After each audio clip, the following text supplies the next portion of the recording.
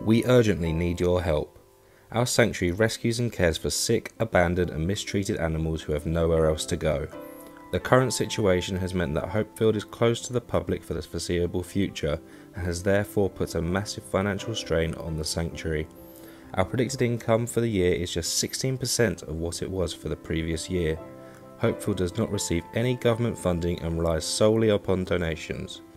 Our dedicated team work tirelessly to feed, clean, and medicate our 500 rescued animals. Please support us through these unprecedented times.